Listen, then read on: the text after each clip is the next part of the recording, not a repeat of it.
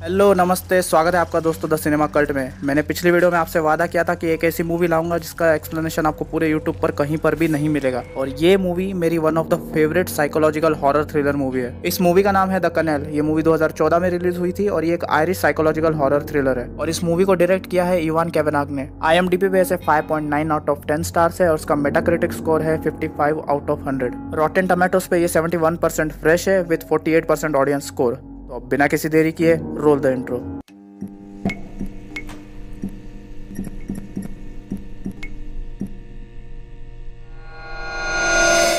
तो हमारे कल्ट के ट्रेडिशन के हिसाब से पहले मैं आपको मूवी के मेन कैरेक्टर से इंट्रोड्यूस करवा देता हूँ, जिससे आपको मूवी समझने में आसानी होगी। तो पहले है डेविड जो कि एक फ़िल्म आर्काइविस्ट था। अब जिनको नहीं पता कि एक फ़िल्म आर्काइविस्ट का काम क्या होता है तो उन्हें मैं बता दूँ कि जो हिस्ट्री से रिलेटेड पुरानी डॉक्यूमेंट्रीज और फुटेजेस होते हैं, एक फ़िल्म आर्काइविस्ट उनके नोट्स निकालकर उन्हें संभालने का काम करता है। अब उसके बाद है डेविड की बीवी एलिस और लास्ट में है क्लेयर जो की डेविड की कलिक कम दोस्त ज़्यादा थी। तो मूवी की शुरुआत होती है नेशनल आर्काइव स्टूडियो को दिखाते हुए, जहाँ पर डेविड काम करता था। वहाँ डेविड स्कूल के बच्चों को एक पुरानी फुटेज दिखाता है। और इस फुटेज में बीच बीच में डिस्टर्बिंग इमेजेस आते हैं, जैसे कोई किसी की आँखें निकाल रहा है और उसके बाद खून से सने कपड़े और घासों में पड़ी किसी की लाश, इत्यादि।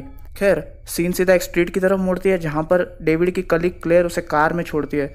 वहाँ पर डेविड की बीवी एलिस उसका इंतज़ार कर रही थी। क्लेयर डेविड से कहती है कि तुम चिंता मत करो, उसे ये पसंद आएगा। दरअसल यहाँ पर डेविड के सरप्राइज़ की बात हो रही थी, जो अपनी बीवी को देने वाला था। तो ये सरप्राइज़ एक घर था। वो अपनी बीवी को वो घर दिखाने के लिए लेकर जाता है और वो घर उसकी बीवी को बहुत पसंद आता है। वो दोनों घर के अंदर जाते हैं और डेविड उसकी बीवी से कहता है कि तुम जाकर अंदर घर देख कर आओ मैं यहीं पर खड़ा हूँ। उसकी बीवी घर देखने अंदर जाती है और डेविड को ऐसा लगता है कि उसने किसी को बैक डोर से बाहर जाते हुए देखा। वो बैक डोर से बाहर जाता है तो देखता है वहाँ पर कोई भी नहीं था। जब डेविड घर का बैक साइड देख रहा था, तब उसे वहाँ पर एक टनल मिलता है मतलब सुरंग। जो उसके पास ही के कैनल से कनेक्टेड थी। अब जिनको ये नहीं पता कि कैनल का मतलब क्या होता है तो मैं उनको ये बता दूँ कि कैनल मतलब एक आर्टिफिशियल रिवर होती है, जो कि सामान के शिपिंग के लिए बनाई गई होती है, या फिर ज़्यादातर तो ड्रेनेज के लिए।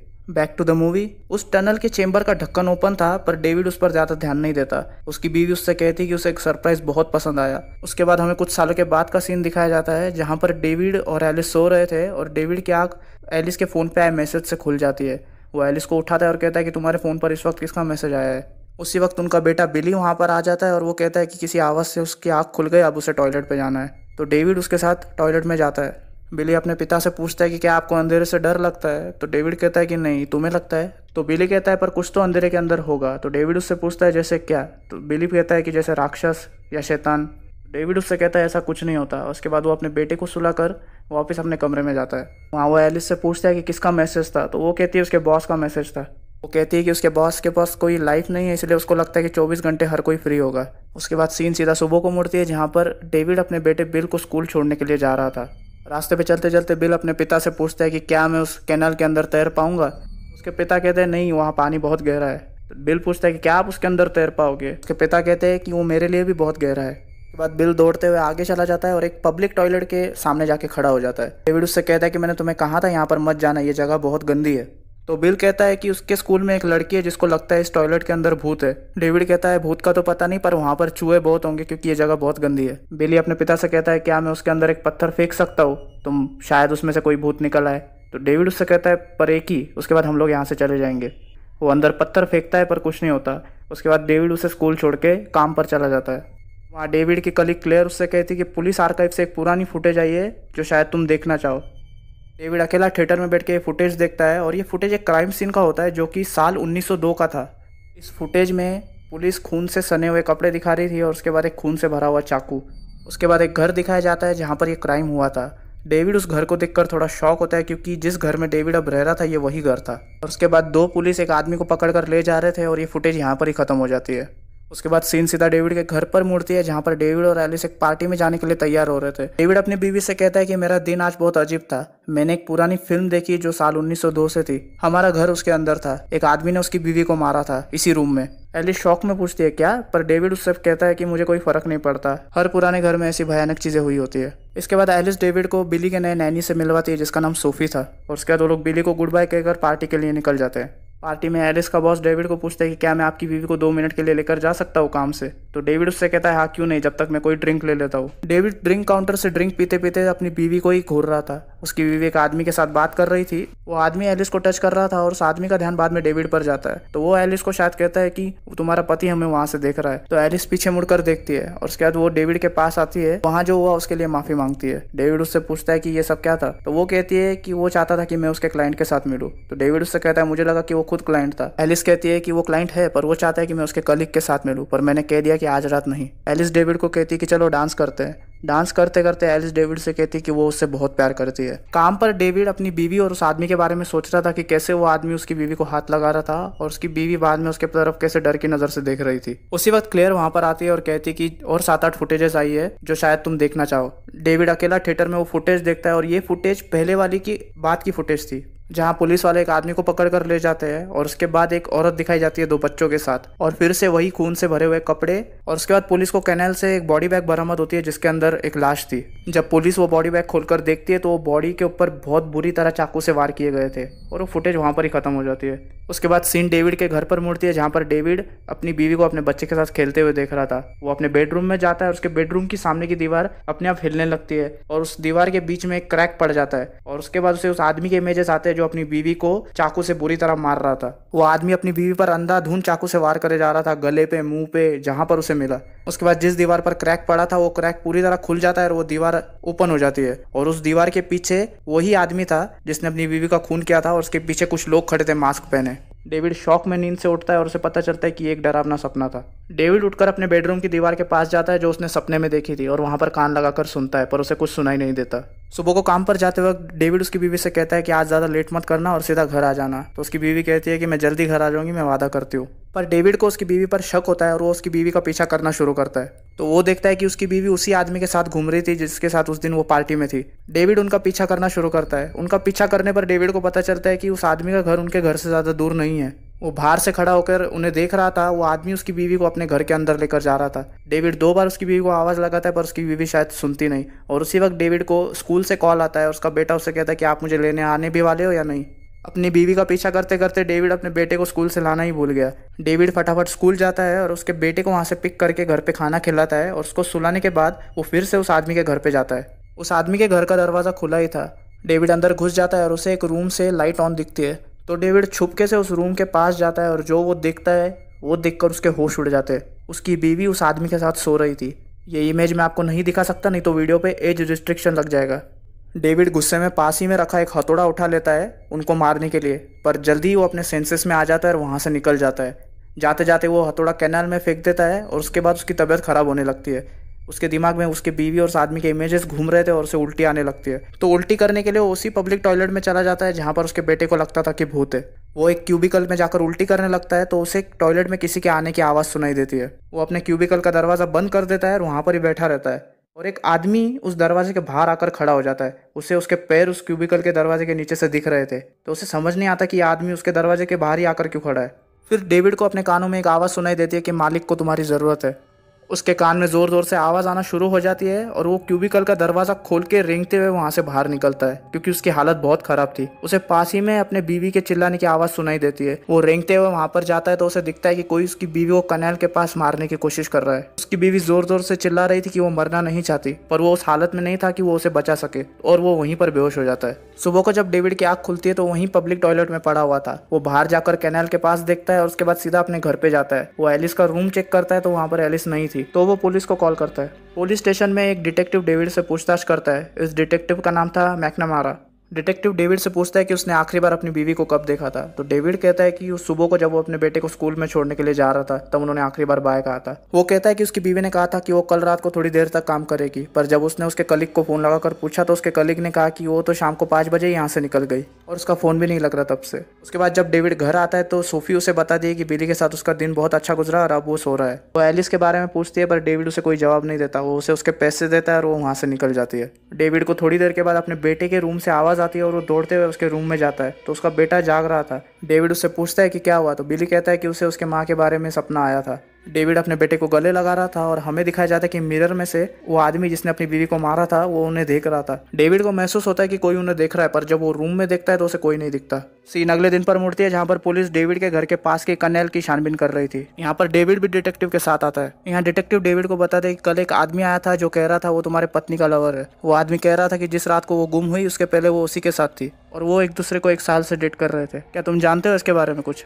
डेविड कहता है, उसे इस बारे में कुछ भी नहीं पता। तो डिटेक्टिव कहते हैं कि उस आदमी के हिसाब से वो तुम्हें छोड़ने की प्लानिंग कर रही थी। पर डेविड कहता है कि ये नामुमकिन है क्योंकि मेरी बीवी मुझसे बहुत प्यार करती थी। वो कहता है कि वो झूठ बोल रहा है। तो डिटेक्टिव कहते हैं कि उसके दोस्तों ने भी कबूल किया है कि वो उसके साथ एक साल से रिलेशन में थी। हमारी बीवी उस आदमी से प्यार करती थी और वो आदमी उससे। डिटेक्टिव से पूछते कहीं तुमने तो अपनी पत्नी को नहीं मारा। तो डेविड उनसे कहता है कि तुम्हें ये मुझसे पूछने का कोई हक नहीं। मैं मेरी बीवी से बहुत प्यार करता था। और मैं अपनी पत्नी को नुकसान पहुँचाने के बारे में सोच भी नहीं सकता। ये सारे सवाल तुम उस आदमी से क्यों नहीं पूछते, जिसे तुम उसका लवर बता रहे हो? डिटेक्टिव कहते हैं कि उसने तुम्हारी पत्नी को नहीं मारा, इस बात का उसके पास गवाह है। जिस वक्त तुम्हारी बीवी उसके घर से निकली, उसके बाद उसको उसके बॉस का फ़ोन आया था और वो एक घंटा उसी से बात कर रहा था। डिटेक्टिव कहते हैं कि लोग हमेशा हस्बैंड को ही सस्पेक्ट मानते हैं। जब भी वाइफ चीट करती है और उसके बाद उसकी वाइफ का अगर मर्डर हो जाए तो। उसके बाद एक पुलिस ऑफिसर उन्हें हाथ देकर कैनल के पास बुलाता है। जब वो लोग पास जाकर देखते हैं तो उन्हें कैनल में से डेविड के वाइफ की लाश मिलती है। ये देखकर डेविड को बहुत बड़ा शौक लगता है और वो वहाँ पर बहुत रोता है।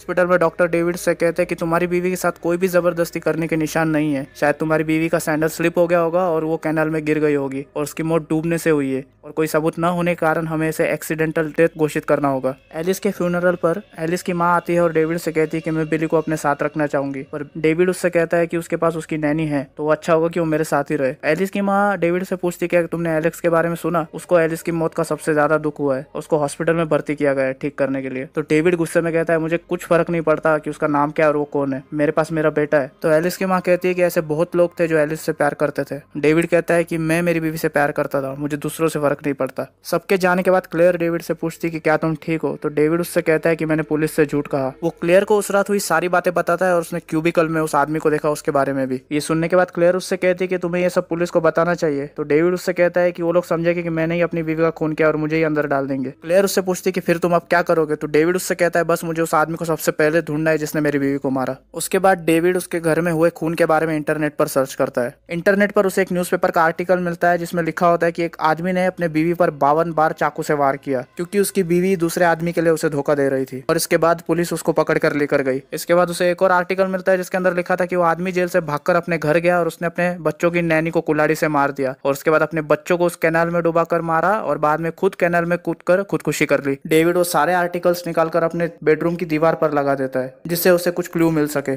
काम पर क्लियर देखती कि डेविड कुछ आर्टिकल्स देख रहा था तो क्लियर उससे पूछती कि ये सब क्या है? डेविड कहता है कि ये सब अनसॉल्व क्राइम्स है, जो इस शहर में कैनाल के आसपास हुए हैं, और वो ये सब इसीलिए देख रहा था ताकि उसे कोई सिमिलरिटी मिल सके। क्लियर उससे कहती कि तुम्हें इस वक्त शोक मनाना चाहिए, ना ही ये सब करना चाहिए। तो डेविड कहता है कि मैं कुछ ना कुछ सबूत ज़रूर ढूंढ लगा, बस मुझे सिर्फ़ ढूंढते रहना होगा। बाद में डेविड अपने रूम में इस घर में हुए मर्डर्स के फ़ोटोज़ देख रहा था। वो फ़ोटोज़ देखते देखते उसके दिमाग में उस वक्त हुए सारे मर्डर्स के रियल इमेजेस आना शुरू हो जाते। वो गुस्से में सारे फ़ोटोज़ दरवाजे की तरफ़ फेंकता है, जो कि सोफी पर उड़कर गिरते हैं, जो उस वक्त दरवाजे पर खड़ी थी। सोफी डेविड से उसे डिस्टर्ब करने के लिए माफ़ी मांगती है और वो कहती है कि उसे घर को सजाना है क्योंकि क्रिसमस आ रहा है। सोफी डेविड से पूछती कि क्या वो ठीक है? तो डेविड उसे कहता है हाँ मैं ठीक हूँ। वो उस आर्टिकल की तरफ़ देखता है, जिस पर लिखा था कि उस आदमी ने आकर नैनी को मारा था। वो आर्टिकल देखते देखते वो सोफी को वहाँ से जाने के लिए कहता है। उसके बाद सीन सीधा अगले दिन पर मोड़ती है, जहाँ पर डेविड अपने काम पर बीसवीं सदी के पुराने कैमरा से एक वीडियो फुटेज रिकॉर्ड करता है, अपने ही स्टूडियो की। डेविड जब वो फुटेज चेक करता है तो उसे उस फुटेज के अंदर वही आदमी दिखता है जिसने अपनी बीवी को मारा था। डेविड वो पुराना कैमरा अपने घर ले आता है और अपने घर के हर रूम की वीडियो फुटेज रिकॉर्ड करता है, क्योंकि उसे शक था कि इस घर में भी कोई है। डेविड जब अपने घर की रिकॉर्डेड फुटेज चेक करता है तो उसे अपने रूम से एक आदमी जाता हुआ दिखता है। फिर उसके रूम की फुटेज दिखती है, जहाँ पर वो आदमी उसके बेडरूम के पास खड़ा था।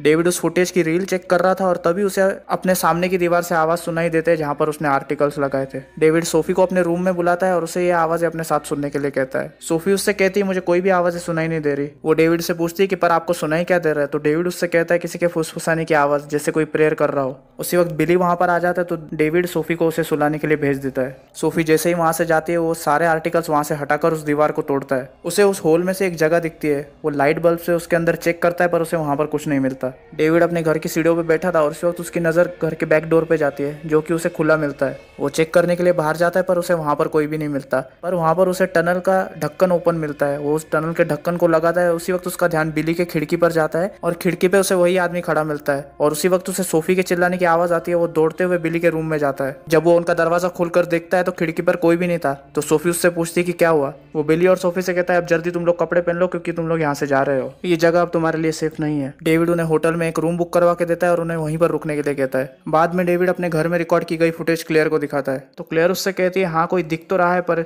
पर यह कहना बहुत मुश्किल है कि वहाँ पर कोई खड़ा है। वो किसी चीज़ की परछाई भी तो हो सकती है। तो डेविड उससे कहता है कि, प्लीज़ कहो कि तुम मुझ पर यकीन करती हो। क्लेयर उससे पूछती है कि, किस चीज़ पर? कि, इसी आदमी ने एलिस को मारा है। ये वही आदमी है जिसको मैंने उस रात देखा था, जिस रात को एलिस का खून हुआ था। क्लेयर उससे पूछती कि, तुम्हारा ये कहने का क्या मतलब है? तो डेविड उससे कहता है कि, मुझे लगता है कि मेरे घर में भूत है। क्लेयर को ये सुन के हँसी आती है तो डेविड उससे कहता है कि हाँ मुझे पता है, ये सुनने में कितना अजीब लगता है, पर ये सुनो। 1930 में जो लोग इस घर में रहते थे, उन्होंने आत्माओं से कम्युनिकेट करने की कोशिश की थी। और बाद में उन्होंने कहा था कि उन्होंने किसी आदमी की परछाई को इस घर में घूमते हुए देखा है। इस घर के प्रीवियस ओनर स्टेट एजेंट ने बताया था कि जो औरत हमसे पहले यहाँ पर रहती थी, वो पागल हो गई थी। पर ऐसा नहीं था। वो औरत कुछ चौतीस पैंतीस साल की थी और उसने अपने पूरे घर को आग लगा दी। उसका बेटा उस आग के अंदर जलकर मर गया, पर उस औरत ने कहा कि उसने वो नहीं किया था। सेम मेरे और एलिस की केस की तरह। उस औरत ने कहा था कि ये सब शैतान ने किया है। उस औरत ने यह भी कहा था कि एक आदमी जिसे वो देख नहीं सक रही थी, उसने उसका रेप करने की कोशिश की थी। वो कह रही थी कि इस घर में शैतान है जो इन दीवारों के पीछे रहता है। क्लियर डेविड से कहती है कि तुम जरा सोचो कि तुम कह क्या रहे हो। डेविड उससे कहता है कि तुम ऐसा लग रहा है कि मैं पागल हो रहा हूँ, है ना? क्लियर उससे कहती है कि तुम सिर्फ़ ज़्यादा सोच रहे हो और कुछ नहीं है। उसी रात डेविड अपने बेटे बिली से वीडियो कॉल पे बात कर रहा था। वो लोग बात ही कर रहे थे, तभी डेविड को बिली के रूम के खिड़की के पर्दे पर एक आदमी की परछाई दिखती है। तो वो अपने बेटे से पूछता है कि क्या सोफी तुम्हारे साथ है इस वक्त रूम में? तो बिली उससे कहता है, नहीं, वो नहाने गई है। डेविड बिली से कहता है कि अपना लैपटॉप रूम की तरफ़ घुमाओ। जब बिली अपना लैपटॉप रूम की तरफ़ घुमाता है तो डेविड को रूम के कोने में कुछ ब्लैक कलर की परछाई जैसा दिखता है और अचानक से वो शेडो बड़ी हो जाती है और उसमें से एक आदमी बिली की तरफ़ बढ़ने लगता है। डेविड अपने बेटे को कहता है कि अपने रूम से इसी वक्त बाहर निकलो, पर बिली को शायद ये बात सुनाई नहीं देती। तो डेविड अपने घर से दौड़ते हुए उस होटल के रूम तक जाता है। वो होटल का दरवाज़ा तोड़ के अंदर घुसता है, देखता है तो वहाँ पर कोई भी नहीं होता। वो फिर से बिली और सोफी को अपने घर में शिफ्ट करता है। इन सब चीज़ों से सोफी बहुत ही परेशान हो जाती है। वो डेविड से कहती है कि एक तो मुझे पता नहीं कि यहाँ पर क्या हो रहा है, और अगर बिली का सवाल नहीं होता तो मैं कब की यहाँ से चली जाती। डेविड कहता है कि हाँ मैं समझ सकता हूँ, तुम सिर्फ़ आज रात रुक जाओ और कल सुबह चली जाना। उसी रात सोफी अपने रूम में सो रही थी तो किसी आवाज़ से उसकी आँख खुल जाती है। वो उठकर अपने रूम में चारों तरफ़ देखती है पर उसे कोई दिखाई नहीं देता। उसी वक्त एक अदृश्य शक्ति उसका रेप करने की कोशिश करती है। उसके मुँह पर चादर रहती है। जैसे ही वो चादर हटाती है तो उसके सामने डेविड रहता है। डेविड उसे पकड़ कर नीचे ले जा रहा था,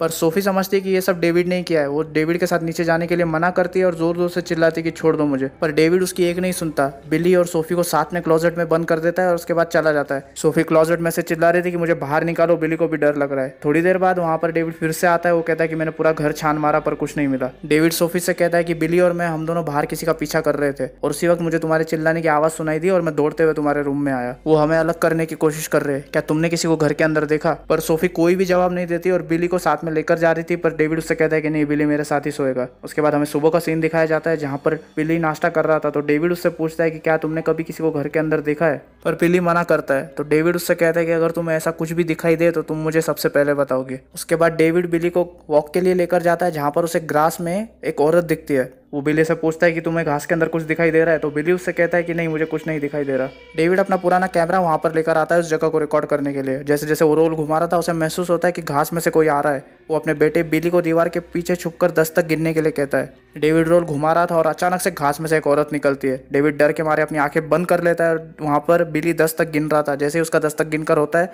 तो डेविड अपनी आँखें खोलता है तो देखता है कि सामने कोई भी नहीं था। डेविड ये रोल लेकर सीधा क्लियर के पास जाता है और कहता है, मुझे अभी इस फुटेज को डेवलप करना है। पर क्लियर कहती कि पूरा स्टूडियो बुकड है और इसे दो तीन दिन लगेंगे। पर डेविड कहता है कि मुझे इस फुटेज को अभी देखना है प्लीज़ तुम समझने की कोशिश करो। क्लियर डेविड से कहती है कि जैसे ये फुटेज डेवलप होगी, मैं खुद तुम्हें घर पर आकर देकर जाऊँगी। उसके बाद वो कहती है कि मैं तुम्हें यही सलाह दूँगी, तब तक के लिए कि तुम किसी डॉक्टर को चेक कराओ। रात को सोने से पहले डेविड अपने पूरे घर में आटा फैला देता है, ताकि उसे पता चल सके अगर इस घर में कोई आए तो। रात को जब डेविड सो रहा था, तब उसे एक आवाज़ सुनाई देती है कि तुम मेरी तरह हो। जब डेविड की आँखें खुलती है तो वो देखता है कि जिस आदमी ने अपनी बीवी को इस रूम में मारा था, वो उसके सामने खड़ा था। वो आदमी उसके टेबल पे रखे, ग्लास का पानी पीता है, और उसके बाद नीचे बैठकर कुछ बाँध रहा था। डेविड ये देखने के लिए उठता है कि वो आदमी क्या कर रहा है, तभी उसकी नज़र कोने में जाती है, जहाँ पर उस आदमी के दोनों बच्चे भी थे, जो डरे हुए थे। वो आदमी बॉडी बैग में अपनी बीवी की लाश बाँध रहा था। वो लाश बाँध ही रहा था और अचानक से वो लाश उठती है और डेविड की आँखें खुलती है। ये डेविड का एक सपना था। पर जब वो उठकर देखता है तो उसके टेबल पर जो पानी का ग्लास रखा था, वो पूरी तरह खाली था। तो डेविड उस ग्लास को फिर से भरकर चौक से आउटलाइन कर देता है, ताकि अगर कोई वो ग्लास उठाए तो उसे पता चल जाए। उसी वक्त डेविड को अपने बेडरूम के दरवाजे पर किसी की परछाई जाते हुए दिखती है। वो उठकर दौड़ते हुए बाहर जाता है तो देखता है फ्लोर पर पैरों के निशान थे। तो उसे लगता है कि उसका शक सही था। सुबह को जब डेविड की आँखें खुलती है तो डिटेक्टिव मैकनमारा उसके सामने बैठा था, और वो उसे अपने साथ चलने के लिए कहता है। डिटेक्टिव डेविड से कहता है कि हमें कैनाल से एक हथौड़ा मिला है, जिसके ऊपर तुम्हारे फिंगरप्रिंट्स है। तुम्हारे वाइफ के बॉयफ्रेंड ने कहा कि वो हथौड़ा उसका है, और जिस रात वो गायब हुई, वो हथौड़ा भी घर से मिसिंग था। क्या इस बात का कोई जवाब है तुम्हारे पास? तो डेविड कहता है कि 1902 में मेरे घर में एक मर्डर हुआ था, जहाँ पर एक आदमी ने अपने पूरी फैमिली को मार दिया था, और मुझे लगता है कि इसी आदमी ने ये सब किया हुआ है। डेविड कहता है कि मेरे घर में भूत है, और मैंने ये सब एक फुटेज में रिकॉर्ड किया है, तुम्हें कुछ ही दिन में देखने के लिए मिल जाएगा। तो डिटेक्टिव उसके बातों पर हंसने लगता है। ये सुनने के बाद डिटेक्टिव को लगता है कि डेविड की दिमागी हालत थोड़ी खराब है। तो वो 24 घंटे डेविड और उसके घर पर नज़र रखना शुरू कर देते हैं। घर में बिली डेविड से पूछता है कि क्या आप मुझे कभी छोड़कर तो नहीं जाओगे? अगर आप मम्मी की तरह मर गए तो। पर डेविड बिली से कहता है कि हम दोनों हमेशा साथ रहेंगे, मैं तुम्हें कभी भी छोड़कर नहीं जाऊँगा। अपने बेटे बिली को सुनाने के बाद डेविड की नज़र उसके दीवार के होल में जाती है, जहाँ से उसे फिर से आवाज़ें सुनाई दे रही थी। वो उस होल के अंदर हाथ डालता है तो उसे वहाँ से एक पैकेट मिलता है। उस पैकेट के अंदर उस आदमी के फैमिली के पुराने फ़ोटोज़ मिलते हैं। डेविड देखता है कि एक फ़ोटो में तो वो आदमी अपने बच्चों को घटिया तरीके से लोगों को मारना सिखा रहा था और दूसरे फ़ोटो में वो आदमी कुछ और लोगों के साथ अपने घर में एक सैटेनिक रिचुअल कर रहा था। फ़ोटो देखते वक्त डेविड को फिर से नीचे के रूम से कुछ आवाज़ सुनाई देती है। जब वो नीचे जाकर देखता है तो उसे फ्लोर पर पैरों के निशान मिलते हैं, जो घर के बैकडोर की तरफ़ जा रहे थे। डेविड घर का बैक साइड चेक करता है तो उसे फिर से टनल का ढक्कन खुला मिलता है। डेविड चेक करने के लिए सीधा टनल के अंदर जाता है। टनल के अंदर बहुत दूर तक जाने के बाद डेविड को एक पाइप दिखता है, जो कि कैनल से जुड़ा हुआ था। डेविड उस पाइप के अंदर जाता है और उसे वहाँ पर कुछ पेपर मिलते हैं। जब वो पेपर हटाकर देखता है तो उस पेपर के नीचे बच्चे की एक लाश थी, जिसके ऊपर क्रॉस की माला थी। डेविड डर के मारे उस बच्चे को कनेल के पानी में फेंक देता है। दो सेकंड बाद उस कनेल से एक हाथ निकलता है, जो डेविड की तरफ़ बढ़ रहा था। उस हाथ को देखकर डेविड के वहीं पर फट जाती है और वो सीधा अपने घर की तरफ़ भागता है। थोड़ी देर के बाद क्लेयर डेविड के घर पर आती है, वो फुटेज लेकर जो डेविड ने डेवलप करने के लिए दी थी। डेविड उससे पूछता है कि क्या उसने वो फुटेज देखी? तो वो मना करती है। डेविड क्लियर से पूछता है कि क्या तुम ये फुटेज मेरे साथ देखना चाहोगी? मुझे अकेले देखने में डर लग रहा है। क्लियर हाँ कहती है और वो दोनों फुटेज देखने के लिए ऊपर के रूम में जाते हैं। डेविड वहाँ पर कैमरा सेटअप कर रहा था तो क्लियर उससे पूछती कि क्या तुम्हें याद है? कल रात को तुमने मुझे कॉल किया था। तुम बहुत ही कंफ्यूज थे और मैं मुश्किल से ही तुम्हारी आवाज़ पहचान पा रही थी। तुम फ़ोन पर रो रहे थे और कह रहे थे कि तुम मुझे एलिस के बारे में कुछ बताना चाहते हो। पर डेविड कहता कि मैंने तुम्हें कोई कॉल नहीं किया था। क्लेयर डेविड को अपने साथ बिठाती और कहती है कि देखो डेविड प्लीज़ अगर तुमने कुछ भी किया है और किसी भी तरह से अगर एलिस को नुकसान पहुँचा है तो ये जाकर पुलिस को बताओ। मैं तुम्हारे साथ हूँ, मैं उन्हें बताऊँगी कि तुम कितने अच्छे इंसान हो। पर डेविड कुछ और ही बोलने लगता है। वो कहता है कि वो लोग बच्चों को इस रूम में सेक्रीफाइस करते थे। तुम जानती नहीं? बच्चों का खून सबसे ज़्यादा पावरफुल होता है। क्लेयर रोते हुए डेविड से कहती है कि तुम ये सब क्या कह रहे हो? तुम्हें क्या हुआ है? डेविड कहता है कि वो लोग बच्चों की बॉडी को टनल से ले जाकर कैनल में फेंक देते थे। क्लेयर उसे ये सब कहने से मना करती है और पूछती है कि तुम मुझे सिर्फ़ इतना बताओ, क्या तुमने एलिस को मारा है? तुम जो कहोगे मैं उसके ऊपर यकीन कर लूँगी। पर डेविड उससे कहता है कि तुम सिर्फ़ ये फुटेज देखो, तुम्हें सब अपने आप पता चल जाएगा। डेविड वो फुटेज शुरू करता है और उसके बाद क्लियर उससे कहती है कि नहीं, मुझे कुछ भी नहीं दिख रहा फुटेज में। दो सेकंड बाद क्लियर डेविड से कहती है कि हाँ मुझे वो दिख रहा है। तो डेविड खुश होकर कहता है कि देखो, मैंने कहा था कि मैं पागल नहीं हो रहा हूँ। क्लियर कहती है हाँ मुझे वो दिख रही है, पर तुम प्लीज़ टीवी बंद करो, मुझे डर लग रहा है। वो औरत फुटेज के अंदर कैमरा के पास आ रही थी। फुटेज पूरी ब्लैक हो जाती है। और गाइस बिलीव मी ये जंप स्केयर इतना खतरनाक है, मैं आपसे रिकमेंड करूँगा कि आप मूवी में ये ज़रूर देखें। और दो सेकंड बाद डेविड के बेडरूम के दीवार में जो होल था, वो औरत उसमें से बाहर निकल के आ जाती है। डेविड डर के मारे पीछे हट जाता है और वो औरत क्लियर को पकड़ के उस होल के अंदर ले जाती है। डेविड बिली को लेकर अपने घर से भाग रहा था तो पुलिस उसे वहाँ पर देख लेती है। दो पुलिस ऑफिसर डिटेक्टिव से कहते कि हमने एक औरत को इसके घर के अंदर जाते देखा और इसने पक्का उस औरत के साथ कुछ किया है। डिटेक्टिव डेविड से पूछते हैं कि तुमने क्या किया डेविड पर डेविड कहता है कि मैंने कुछ भी नहीं किया। ये कहते ही डेविड फिर से घर के अंदर भागता है और फ्रंट डोर लॉक कर देता है। पुलिस उसका दरवाज़ा बजाती है, पर वो पीछे के दरवाजे से बाहर निकल जाता है। पुलिस दरवाज़ा तोड़ के अंदर घुस जाती है, पर डेविड अपने बेटे के साथ तब तक टनल के अंदर निकल चुका था, जो कैनाल से कनेक्टेड थी। डेविड उस सुरंग के अंदर भागते जा रहा था और डिटेक्टिव भी उसका पीछा करते हैं। सुरंग के अंदर भागते भागते डेविड को क्लियर की आवाज़ सुनाई देती है, जो कहती है कि, रुको रुको। और अब यहाँ पर खुलता है मूवी का असली प्लॉट डेविड के दिमाग में जैसे मेमोरीज की बाढ़ आ जाती है, और उसे याद आता है कि जब क्लियर और वो फुटेज देख रहे थे तो क्लेयर को उसके अंदर कुछ भी दिखाई नहीं देता। जब डेविड उसे बार बार कहता है कि देखो वो औरत वहीं पर है तो क्लेयर उससे कहती है, डेविड, वहाँ पर कोई भी नहीं है। डेविड को इस बात पर गुस्सा आने लग जाता है और वो क्लेयर का गला दबाकर उसे मार देता है। जब वो क्लियर का गला दबा रहा था तो बहुत सारी आत्माएँ डेविड के पीछे खड़ी थी और उसे देख रही थी। डेविड रोने लगता है और भागते भागते उसे एक टनल में उस दिन की मेमोरी दिखाई देती है, जिस दिन उसकी बीवी मरी थी। तो एज अ ऑडियंस हमें पता चलता है कि जब डेविड उस पब्लिक टॉयलेट में गया था, उस दिन तो क्या हुआ था? डेविड को दिखाई देता है कि एक आदमी उसके कान में कह रहा था कि मालिक को तुम्हारी बीवी की ज़रूरत है, मार दो उसे। डेविड पब्लिक टॉयलेट से बाहर निकलता है और उसकी बीवी उसे कनाल के पास मिलती है। वो अपनी बीवी को पकड़कर गंदी गालियाँ देने लगता है उसके बाद उसे नदी में धक्का दे देता है। उसकी बीवी उसे बार बार कहती कि डेविड में मरना नहीं चाहती, पर डेविड उसका सर पानी में ही दबा के रखता है जब तक वो मर नहीं जाती। सीन फिर से प्रेजेंट में आती है और डेविड होश में आता है और उसे यकीन नहीं आता कि उसने क्या किया। भागते भागते डेविड को एक टनल के कोने में कुछ दिखाई देता है। जब वो टॉर्च वहाँ पर मारता है तो वहाँ पर एलिस का भूत था। अब बाहर जाने के लिए डेविड को एक ही रास्ता दिखाई देता है, वो पाइप जो कनेल को निकलता था। डेविड उस पाइप के अंदर घुस जाता है और वहाँ से आगे भागता है। डेविड जब पीछे टॉर्च मार के देखता है तो एलिस का भूत उसके पीछे ही था।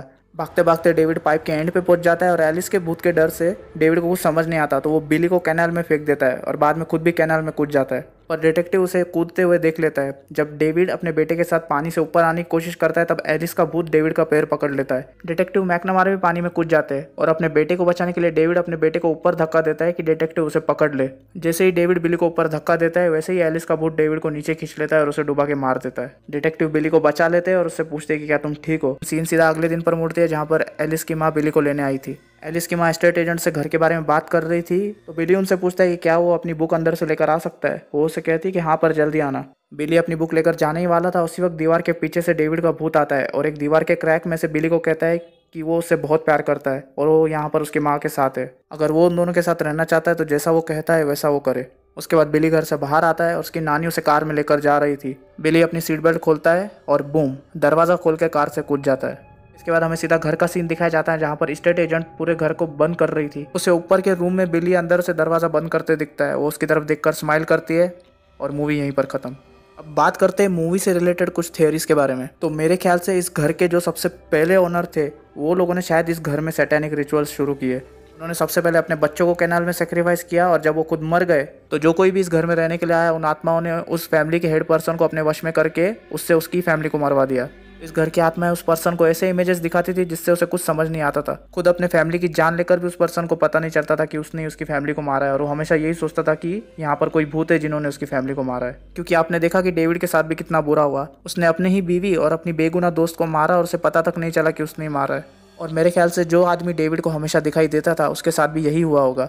क्योंकि उसकी स्टोरी भी डेविड से बहुत मिलती थी। उसकी बीवी ने भी उसे धोखा दिया था और बाद में उन आत्माओं ने उसके ही हाथों से उसकी बीवी को मरवा दिया। मूवी के एंड में जो हुआ, उस आदमी के साथ भी एंड में वही हुआ था। उसने भी अपने बच्चों को कैनाल में फेंक दिया और बाद में खुद भी कूद गया था, जैसे सेम डेविड ने किया था। वो आदमी भी शायद अपने बच्चों को बचाने के लिए टनल में भाग रहा था और उसने भी वही किया होगा। किसी से डर कर अपने बच्चों को कैनाल में फेंक दिया होगा और खुद भी कूद गया होगा। पर बिली के समय डिटेक्टिव उसे बचाने के लिए वहाँ पर था। और ऐसे ही इस घर की आत्माएँ उनके ना चाहते हुए भी उनसे उनके बच्चे सेक्रीफाइस करवा देती थी। यहाँ एक और फैक्ट है, जिस किसी की भी मौत उस घर के अंदर होती थी या कनाल के पास होती थी, उसकी आत्मा करप्ट हो जाती थी। क्योंकि हमने एंड में देखा डेविड ने अपने बेटे को बचाने के लिए खुद उसे ऊपर धक्का दे दिया ताकि वो बच सके और वो खुद एलिस के भूत के साथ अंदर चला गया। पर जब बिली अपनी बुक लेने के लिए घर के अंदर गया, तब डेविड की आत्मा उस घर के अंदर कैद हो चुकी थी और वो करप्ट हो चुकी थी और उसने खुद के ही बेटे को मरने के लिए कहा। तो ये था द कनेल मूवी का एक्सप्लेनेशन और मुझे गारंटी है आपको ये मूवी ज़रूर पसंद आई होगी। जैसा कि मैंने आपको पहले भी कहा, ये मेरी one of the favourite psychological horror movies में से एक है। और मैं आपको रिकमेंड करूँगा कि आप ये मूवी ज़रूर देखें। तो वीडियो को लाइक करो और कमेंट में मुझे बताओ कि आपको एक्सप्लेनेशन कैसा लगा। मैं ऐसी और यूनिक मूवीज़ लाने वाला हूँ, जिसको देखकर आप यही कहोगे कि यार ये मूवीज़ कहाँ थी। मेरे इंस्टाग्राम का लिंक नीचे डिस्क्रिप्शन में दिया हुआ है तो मुझे इंस्टाग्राम पर भी फॉलो करें, क्योंकि मैं आने वाली वीडियोस की डिटेल्स वहाँ पर डालता रहता हूँ। और अगर आपको ये मूवी देखनी है तो मुझे फॉलो करके डीएम करो, मैं आपको लिंक प्रोवाइड कर दूँगा। और प्लीज़ मेरे चैनल को सब्सक्राइब करो, क्योंकि मुझे आपके सपोर्ट की बहुत ज़रूरत है। अगर आप सपोर्ट करोगे, तभी मैं ऐसी यूनिक मूवीज़ बना पाऊँगा। तो मैं मेरे कल्ट का पहला टारगेट रखता हूँ, जो कि होगा 500 सब्सक्राइबर्स तो अपने कल्ट को इस टारगेट तक पहुँचने के लिए हेल्प करो और अपने दोस्तों को भी कहो कल्ट को ज्वाइन करे सब्सक्राइब करके। तो मिलता हूँ मैं आपसे अगली वीडियो में, और तब तक के लिए स्टे विद द कल्ट